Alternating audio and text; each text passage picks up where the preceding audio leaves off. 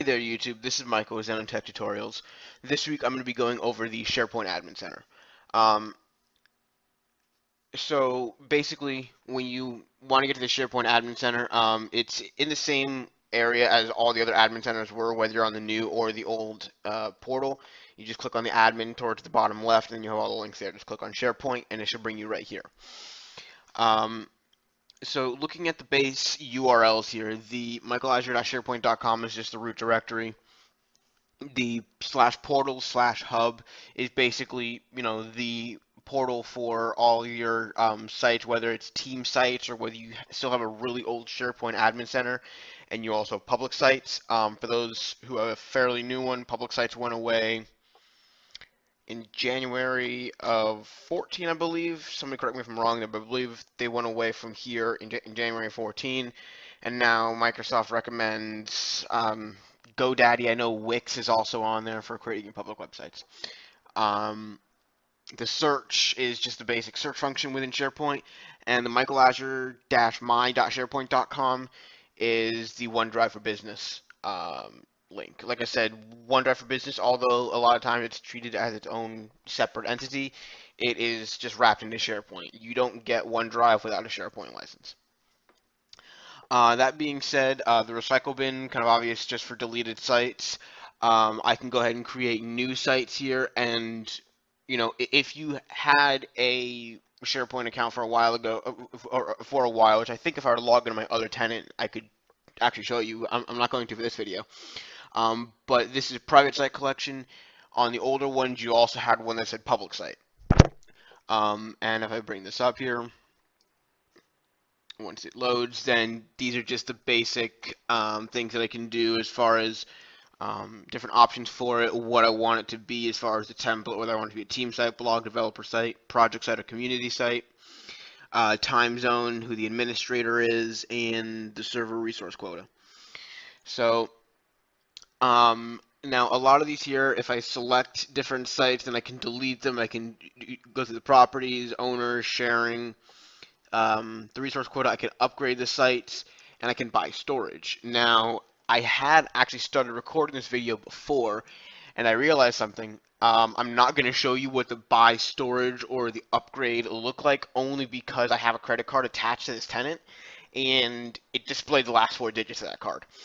Um, but basically, it just brings you to a screen where you can buy more storage or you can pay to upgrade the site. It's it's pretty self-explanatory when it goes through. I just can't show you because I'd really rather not put the last four digits of my credit card on the internet.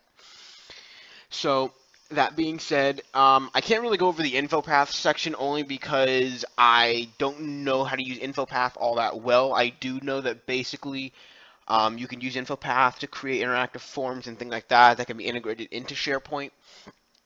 Um, how all of that works, I still am going to look into it myself, maybe do videos down the road on how to do that once I actually learn it.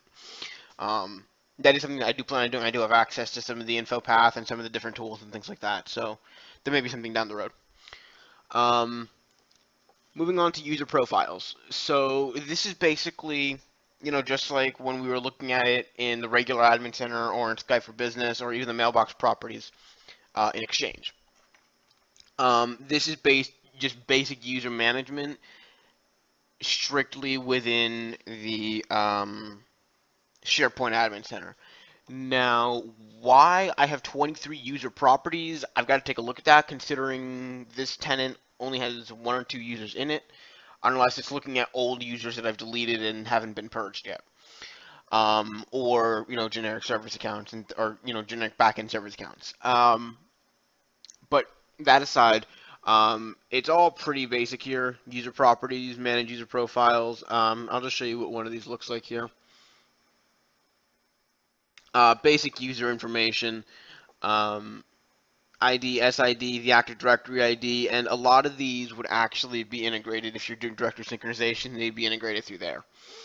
Um, for a, uh, uh, phonetic last name, name, um, phonetic display name, work phone department, etc. I'm not going to read through all those. Those are all basic Active Directory attributes that we should all be familiar with by this point.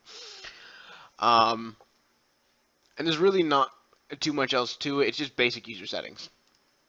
And so when we go to the business connectivity services, This is um, maybe different on-premise services that you have set up, um, different different applications, maybe uh, on-premise SharePoint, things that you want to connect to.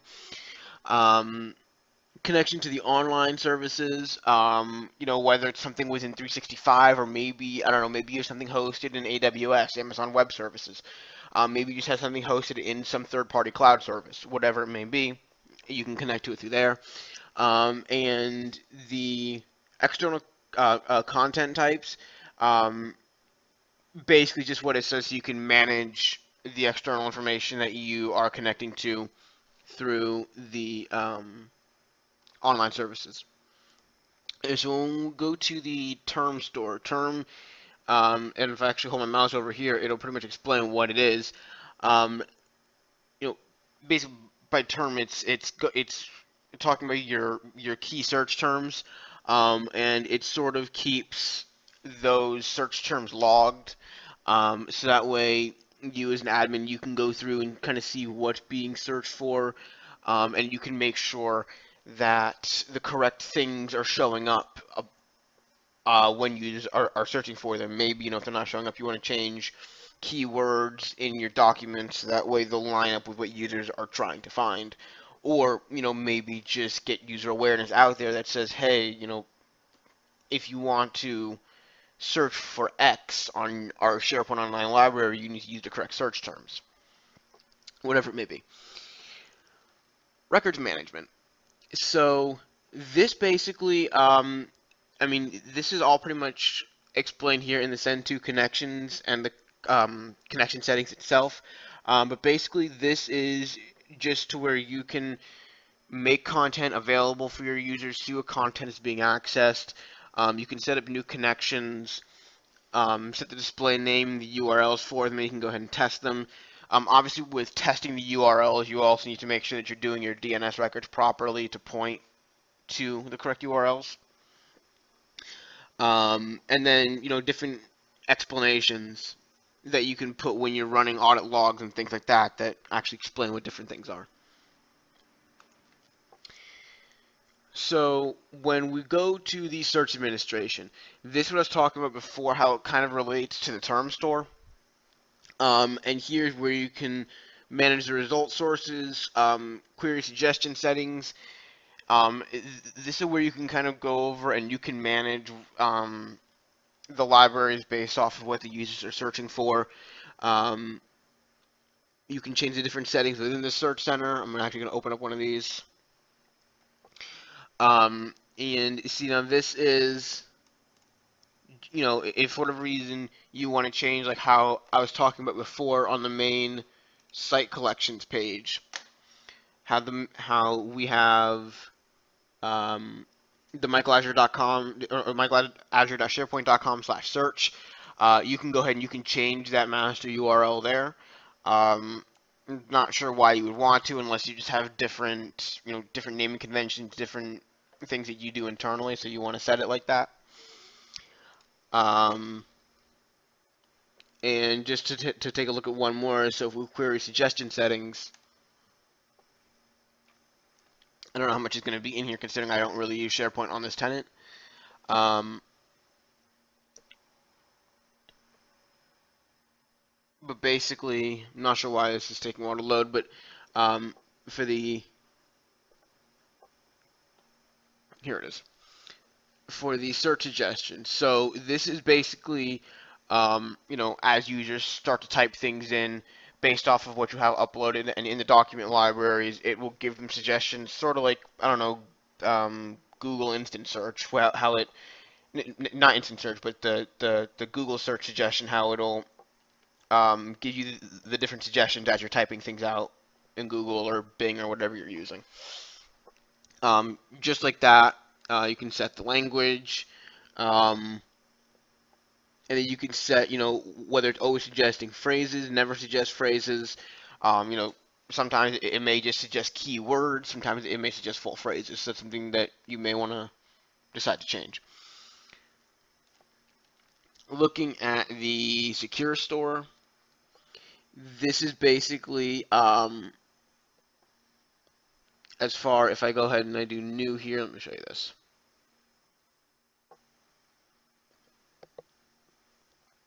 So this is not, you know, like buying things, but this is um, external uh, secure applications that you're connecting to. Um, target application settings, display name, contact email address, uh, the different credentials for it. Um, and you know maybe you know maybe it takes you know maybe it's not a, a, a username maybe it takes a certificate name and a certificate password um, so you can sort of set that how you want to the name itself is generally not going to be masked unless you actually set that to password um, the only thing that's going to be masked that, that even gives you the ability to mask it I should say are the passwords themselves whether it's the certificate or just a normal password target application administrators. And by the way, I haven't gone through this, but basically I can go through and I can browse for the list of admins, um, or I can go ahead and I can type something in here. Admin, check names. And then see my display name is just admin admin on that account. So it goes and it sees, okay, that name is admin, so it automatically resolves it to the administrator at michaelazure.onmicrosoft.com. So I'm going to go ahead and move on to the apps. And the apps is now where you can actually go and you can buy apps and things like that from the App Store. Um, let's just take a look at the app catalog. Hopefully this doesn't show my credit card number. Um, okay, no, this is just for you to actually organize the apps that you're buying. Um, so I'm going to go to purchase apps, and it should bring us to the app store. Um, so I have pretty much everything I can imagine here on the left-hand side here. Um, best apps of the year, business-related apps, clock and calendars, communications, content managers, um, things specifically for CRM, uh, employee interaction, forums. I mean, I'm not going to go through each of these individually. I could do a separate video just on this, really. Um, but as you can see, there's a lot of apps that you can put in here. Um, so you may want to take some time to go through this. And these are things, you know, whether it's for your IT staff, for your end users, uh, editors picks, just things that, you know, the the developers thought would be good for you to have. Um, just any any number of apps are in here. Um, or I can just search for an app. So that makes that easier too when I move to sharing. So this is basically, um, I see, I've gotten a lot of questions on this from people in relation to especially uh, OneDrive. You can um, configure the individual site settings for OneDrive and for a different things for sharing, but ultimately these settings override the individual site settings. This is all of SharePoint. So this is set up here. Um, I can simply say, which I think, as many times as, as I've tried to at work and it doesn't work, I believe my job has it set to where I cannot share outside my network, um, just at all. So you can you can try to share outside your network, and it, it'll either give you an error message when you try to do it, or you know, just the other person just won't get the link. Um, so this is this would be authenticated external users. Um, you know, basically these are users or domains that use the that you as an admin have allowed to receive content from your SharePoint organization. Um, or external links allowing anonymous access links. So then I could share it with a Gmail or a Yahoo or something like that. Um, obviously, this kind of, you know, if if you deal with constantly sensitive information that you can't risk getting out to people, then you may very well just want to do to not allow external sharing. Um, on the other hand, though, you know, if you have a lot of customer-facing things that you um, you have to communicate with customers, you want to share documents with customers, you may want to choose one of the second, uh, either the second or, or, the third option, really depending on the bulk of your customer base. Are they using Office 365 accounts where they can be authenticated users, or are they just regular, you know, end users using Gmail and Yahoo accounts where they can't authenticate to 365? So that option really is just going to depend on what kind of business you're running. Um, I'm going to go to settings here, and this is basically um, this is basically the the final list of, of master settings for SharePoint. Um, you see for OneDrive, I can give users the the classic or the newer experience. Um, and there is, you know, basically that that sync the uh, sync option where you can go and you can actually um, sync it with a local client. I don't believe I have anything in this. Oh, okay. Well, that would explain a lot. Um, all right, I never actually set this up, but basically there is a, and I, I've seen it on, on my other 10, but basically there's a, a, little sync option on the top of your library where you can set up the sync with your local computer. Um, this, that's just whether or not you want to show it. Uh, site collection record management, uh, SharePoint list and library experiences. Um, a lot of this is just what kind of interface you want your users to see. Uh, the graphs, the enterprise social collaboration, uh, the streaming and the video service. Um, this is all, I mean, these options kind of speak for themselves as far as what each one does. Uh, the information rights management or the starter site. So that's all I'm really going to do. I can't really go over the configure hybrid um, because I don't have a SharePoint on-prem organization to do hybrid with. Um, basically, you know, that's if you're migrating from SharePoint on from SharePoint on-prem to SharePoint online, or vice versa, for whatever reason, um, and you want to get it set up to where you know maybe a user logging in on-prem can use the search functions on-prem and they can find online documents, or somebody logging online can find on-prem documents. Um, I'll probably do a video on SharePoint Hybrid um, further down the road. Um, that's about it for this video. So going forward, um, I am going to be taking a, a, little bit of a break on doing these videos. Um, I'm not going to clutter, or rather go over that in this video though. This video is for SharePoint. Um, I may wait until next Sunday, or I may put up a video in the next couple of days.